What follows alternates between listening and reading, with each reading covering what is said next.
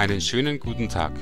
In diesem Video erfahren Sie, was Sie tun müssen, wenn Sie Wavi Profi 3 im Terminal-Server-Betrieb verwenden wollen. Natürlich ähm, können Sie das auch auf jedes andere Programm der Welt umlegen, aber in unserem Beispiel arbeiten wir ja mit Wavi Profi 3. Da ich an dieser Stelle nicht davon ausgehen kann, dass jeder von Ihnen ein IT-Fachmann ist, ein Spezialist ist, der sofort weiß, was Terminal-Server ist, ganz hier eine ganz, ganz kurze Einführung. Ein Terminal-Server bietet Ihnen die Möglichkeit, schnell, stabil und natürlich auch performant ja, ähm, Dateien auf einen entfernten Rechner auszuführen.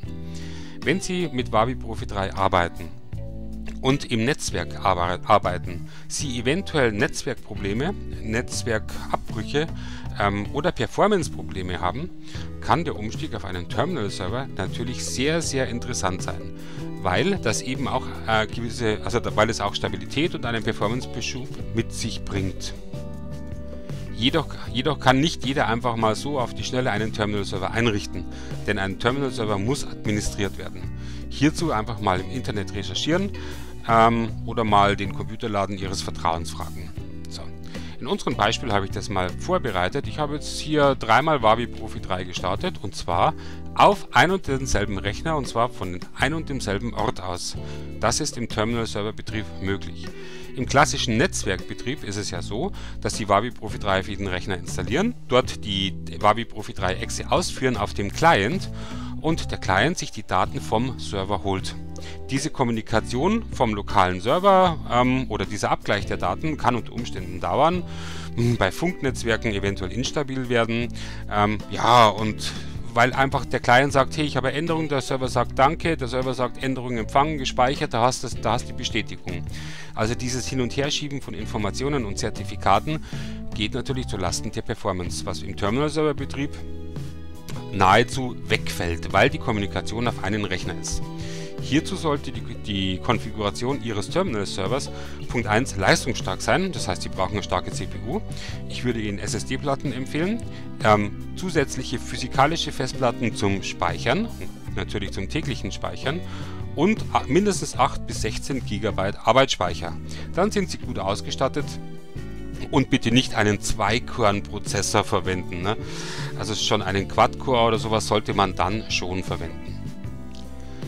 So, um das auch kurz, ganz kurz in der Praxis zu zeigen, ich habe hier mal den Artikel 2, da habe ich eine Artikelbezeichnung 1, 2, 3, 4, 5, 6, 7, 8, 9, den ändere ich und mache den 8, 9 weg.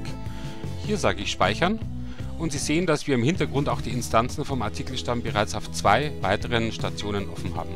Ich sage, ich will die Änderung speichern. Jetzt gehe ich auf diese Station und schaue mir den Artikel 2 an und ich habe die Änderung nun hier und hier haben wir in der Liste noch ähm, die ursprüngliche Information. Hier 5, 6, 7, 8, 9. Und wenn ich jetzt darauf klicke, habe ich tatsächlich hier ähm, die aktualisierte Information dieses Clients, der das geändert hat. Also das ist relativ cool und das geht auch echt schnell. Ähm, und das ist eben auch der große Vorteil. Aber was Sie jetzt tun müssen und wie Sie es einrichten müssen, das erfahren Sie jetzt. Und an dieser Stelle gehe ich davon aus, dass hier ein Admin gegenüber sitzt. So, deswegen gehe ich jetzt nicht jeden kleinen Schritt ähm, drauf ein und sage, das und das müssen Sie tun, sondern ich gebe Ihnen jetzt die direkte Anleitung. Sie gehen auf Ihren Terminal-Server in Ihr Installationsverzeichnis. Dort klicken Sie oder dort wählen Sie das Wavi Profi 3 Verzeichnis aus. Auf dem Terminal-Server legen Sie nun eine Konfigurationsdatei an, die sich Terminal Server nennt. Und zwar, es muss eine INI-Datei sein. Wenn Sie nicht wissen, wie das geht, wie lege ich jetzt eine INI-Datei an? Ganz einfach, Rechtsklick, neu, dann Textdokument. Ne?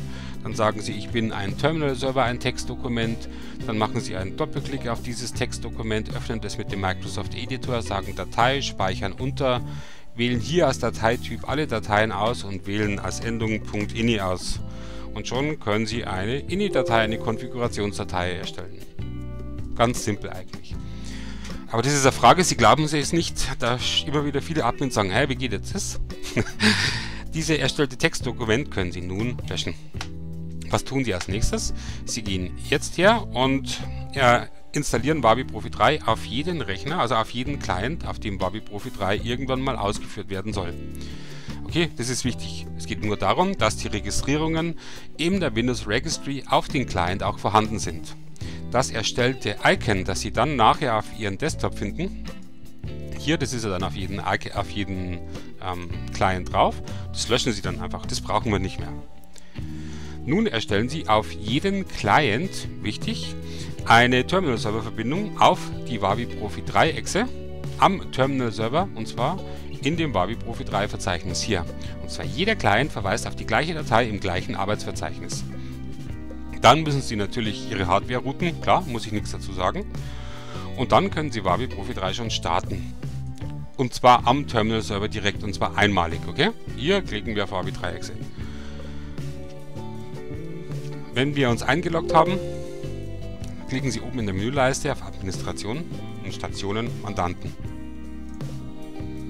Stationen, Terminal Server Stationen. Das Fenster mache ich jetzt ein kleines bisschen größer. Nun legen Sie die Anzahl Ihrer Stationen fest, die Sie haben. Ich sage jetzt mal hier Kasse, Mandant aktiv, das ist wichtig. Ähm, Lager, egal. So. Das aktives Setzen ist wichtig. Und natürlich machen wir jetzt das nächste und sagen Keller egal. Alles egal. Okay. Jetzt haben wir schon den ersten Schritt getan, das heißt, Sie haben schon mal drei Stationen angelegt. Also in unserem Fall haben wir drei Stationen angelegt. Sie können nur die maximale Anzahl Ihrer Netzwerklizenzen auch als Stationen festlegen. Das heißt, haben Sie drei Lizenzen, dann können Sie nur drei Stationen festlegen. Wichtig. Nun beenden wir Wavi Profi 3 am Terminal Server. Und jetzt können Sie Wavi Profi 3 vom Client her ausführen.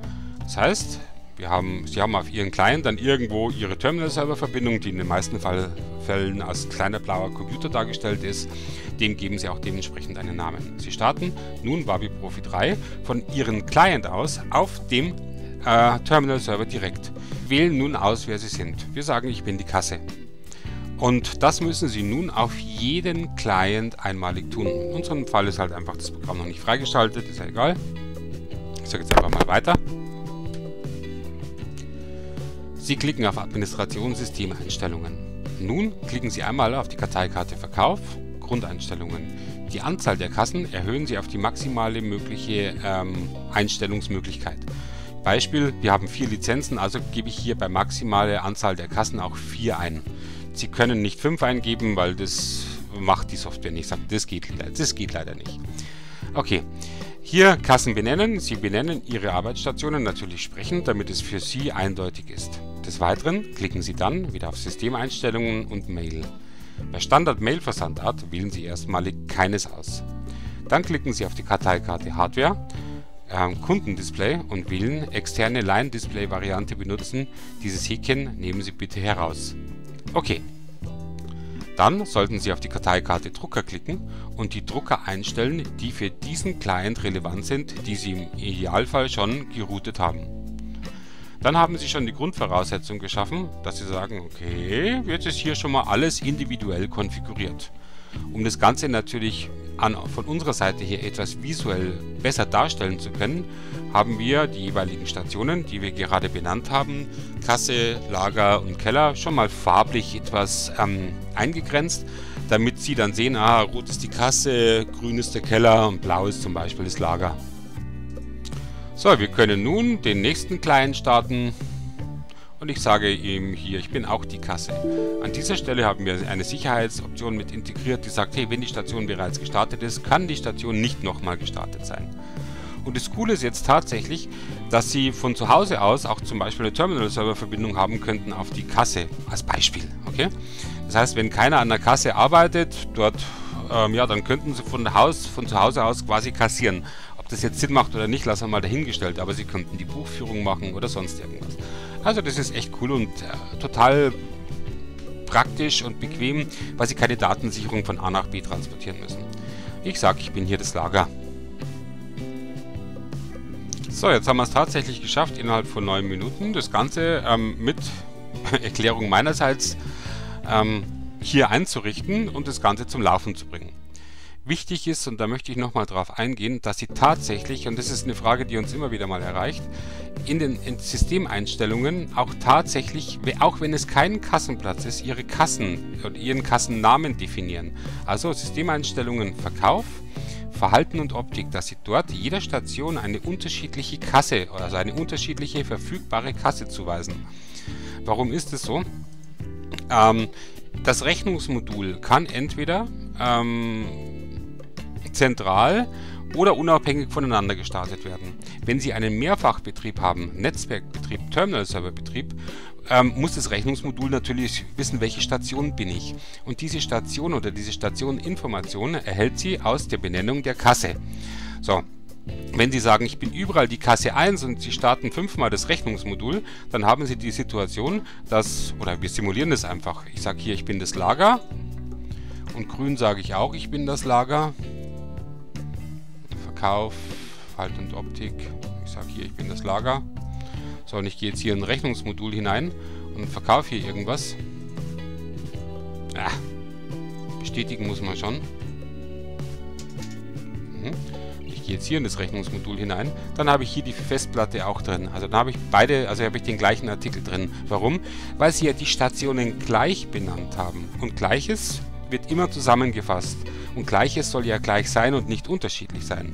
Nur wenn Sie diese diesen Unterschied schaffen ähm, durch Benennung der Kasse, nur dann ist es möglich, damit es auch äh, getrennt voneinander funktioniert. So, jetzt gehe ich mal da raus und sage hier Administration. Ach komm. Administration, Systemeinstellungen. Grün war unser Keller, glaube ich. Ähm, Verkauf, Verhalten und Optik, Keller. So, wenn ich jetzt hier in die Rechnungskasse hineingehe, ich verkaufe hier was in der Rechnungskasse, hier den Artikel egal. Und ich gehe jetzt hier hinein, na, dann kann ich hier irgendwas anders verkaufen. So, und dann tun sich auch die Kassen hier nichts. Das genauso verhält es sich natürlich mit der normalen Kasse. Also die, Benennung oder die Benennung an einer Station ähm, oder die Zuweisung einer Kasse zu einer Station ist elementar wichtig und garantiert einen unabhängigen und reibungslosen Ablauf. An der Stelle hoffe ich, ähm, alle Ihre Fragen beantwortet zu haben. Ähm, entschuldige mich davor, dass ich mich eventuell manchmal verhaspelt habe, aber es ist real life, das ist jetzt nichts Gefaktes, nichts Vorbereitetes sondern es ist tatsächlich ähm, aus dem realen Leben schnell mal umgesetzt und das ist mit Wabi Profi 3 möglich. Sie können viele Dinge schnell mal umsetzen, ähm, wenn, man, wenn man weiß, wie es geht. Bedanke mich für die Aufmerksamkeit und